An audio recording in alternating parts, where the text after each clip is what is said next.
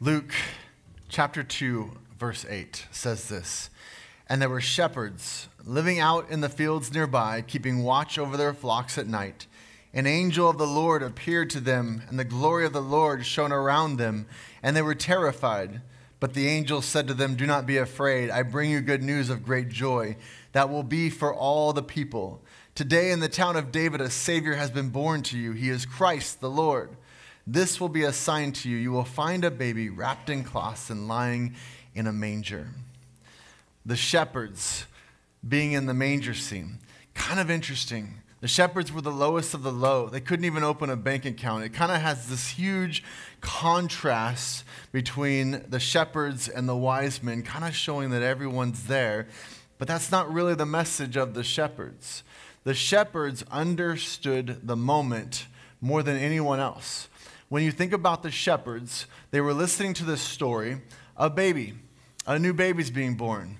Well, that's not all that exciting unless it's your baby. That's the only time you're really excited about a baby being born or a grandbaby. It's in a, a, a manger. Okay, that's different, but still looks kind of like a crib.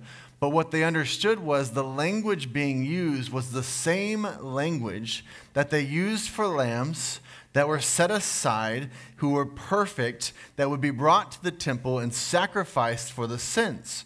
And when they would wrap those lambs up, it was so that it wouldn't bump into anything, get scars on them, be damaged in any way. They were wrapped up in the same language, the cloth. The same language was that, this, that they were going to be protected so that they could go perfect to sacrifice for the sins that we have committed. And when they hear that language, they understood the moment. They understood that this baby was different, that this baby was going to represent all of us and all of our sins. And what do they do when they understand the moment? They drop everything and they go to see this king. For us, do we understand the moment? When you look at the manger and you see the shepherd, it should always make us step back and say, Do I understand the moment? I get so distracted by the shiny objects of life. I get so distracted by so many things.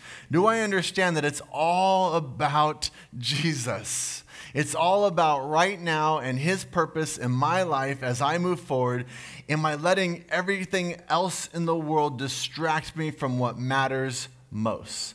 Understand the moment. And like the shepherds, give love. Bye.